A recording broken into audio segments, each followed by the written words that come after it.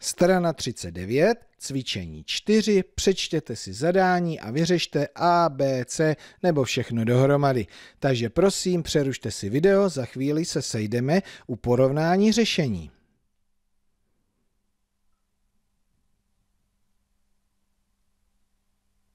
Tak jak se vám to podařilo vyřešit? Podíváme se na Ačko.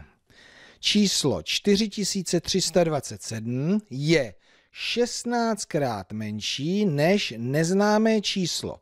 Jaké je neznámé číslo? No tak se podíváme na to řešení. Tak ještě jednou. Číslo 4327 je rovná se 16 krát menší než zadané číslo. Takže nám z toho vyšla rovnice x děleno 16 rovná se 4327. Takovéhle příklady jste podobné řešili už od druhé třídy, jenom s menšími čísly které číslo vydělím 16, abych dostal výsledek 4327, co mě pomůže násobení. Takže rovná se pod sebe, aby to bylo jako rovnice, x rovná se, vynásobím a tady je výsledek. Takže vyšlo vám, že neznámé číslo je 69 232. Podíváme se na B.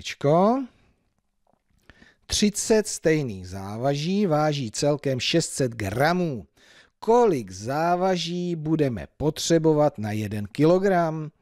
Opět se podíváme na řešení. Tak, 300 kusů záv- eh, pardon, 30 kusů závaží 600 gramů. Já potřebuji vědět jeden kus.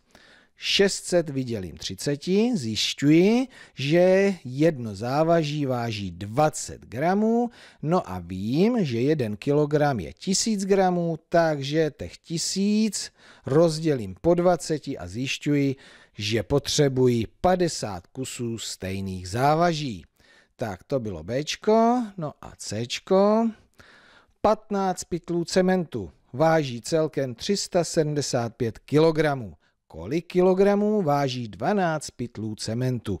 Vypadá to jednoduše a také to jednoduché je, protože my víme, že když skáčeme z 15 na 12, nesmíme zapomenout na jeden pytel. Takže nejdříve zjistíme hmotnost jednoho pytle, 375 děleno 15, což je 25 kg, no a potom se klidně pustíme do těch 12 pytlů, čili těch 25 vynásobím 12 krát nebo 12 krát 25, což je 300 kg.